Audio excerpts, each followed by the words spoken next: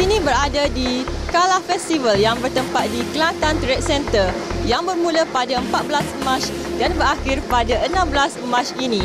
Kala Festival merupakan satu festival yang menggabungkan semua golongan dan pengusaha untuk menjual pelbagai produk mereka seperti hasil batik, songket, seni, kraft tangan dan pelbagai produk tempatan yang lain. Julung-julung kali yang pernah kita adakan bersama pembatik dan juga pengusaha-pengusaha lain. Uh, bagaimana tercetusnya idea untuk menganjurkan festival seperti ini? Dia sebenarnya pada asalnya kita mendapat arahan daripada kerajaan negeri lah untuk berbuat sesuatu kepada para pembatik yang uh, untuk mengenengahkan lagi uh, apa ni uh, pengusaha-pengusaha batik dengan produk-produk mereka ke persada yang lebih meluas ya. Uh, terutamanya kita kita mulakan di Kelantan dulu kemungkinan satu hari nanti uh, ni kita akan kita akan uh, apa ni buat buat kat, kat luar daripada Kelantan.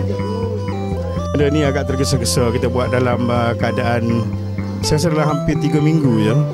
Apabila idea tu tercetus dan kita mula sit down lah untuk mencari konsep, uh, tema uh, sebagaimana yang uh, yang uh, boleh tengok sekarang ni lah dari segi even dari segi penamaan pun kalah tu sebenarnya dari kata daripada asalnya kita nak buat festival warna so since benda ni kita buat kat Kelantan kita kita tukar kepada luar Kelantan kita cuba nak menampakkan keaslian uh, ni lah uh, konsep yang kita cuba utarakan itu je sebenarnya Cuma kita berharaplah uh, Kala ni menjadi satu jenama yang yang besar pada masa harapan.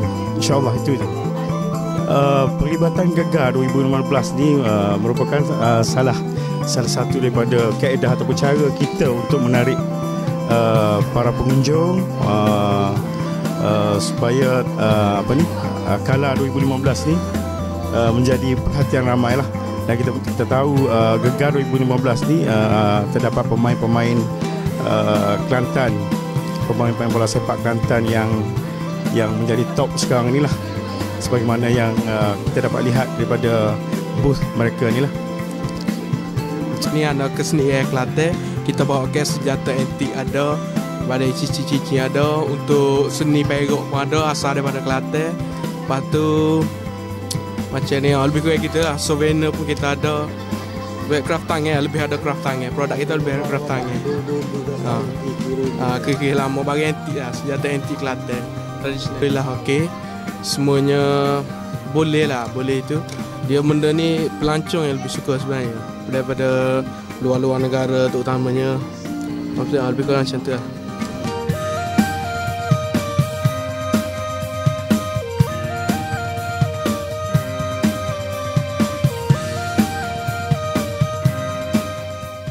Saya Emira Izzati Ibrahim melaporkan untuk TRW TV.